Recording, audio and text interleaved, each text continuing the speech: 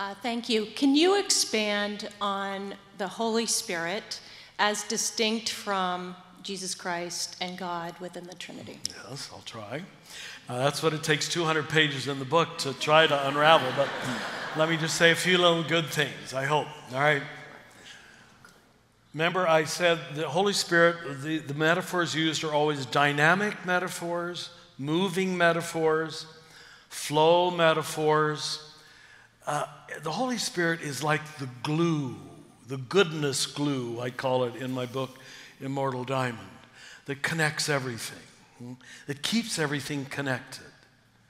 Really, the state of sin, and it is a state more than an action, is when you disconnect.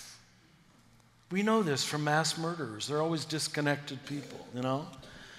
And we were told, I bet you were told, like me, that our job was to be correct. No, your job is to be connected. That's all. Just stay connected. Stay, if in the beginning was the relationship, you will know God as long as you stay in relationship with the flower in front of you, with the blue sky above you, with your wife, with your children.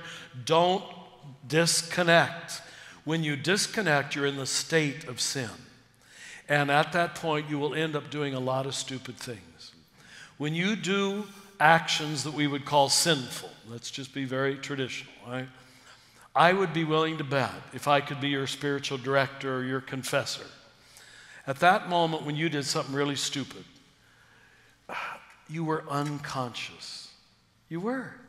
When you're conscious, you'll always love. You'll always love. When you're unconscious, you will do cruel things, rude things, deceitful things, lustful things. You're always unconscious. So uh, I, hope this helps you understand that the Spirit, I said it real quickly, the Spirit and consciousness for me are the same thing, and love. You, you can use those three words interchangeably interchangeably. And I can prove that with Orthodox theology, all right? They're the same thing. So Jesus is the physical manifestation. You always have to deal with physicality. When the Word became flesh. Huh? So that's why in the end there will only be Christ loving Himself. When the whole physical universe recognizes itself in one another, when all of you so that's why in the Christian world, we rightly say we are the body of Christ. Yeah, that's correct. And then, as you so beautifully did this morning, I was able to celebrate with two of your Eucharists.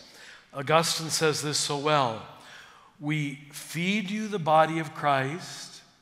So, this mystery of incarnation ju- doesn't just move to the personal level, it moves to the elemental level, symbolized in bread and wine that even the elemental universe is the body of Christ. Oh my God, I know you're going to call me a pantheist. No, that's Christianity. That's Christianity. That's incarnational religion, which is rightly called panentheism God in all things, not God is all things. So make that distinction. That'll please your pastors, all right? I'm not teaching pantheism.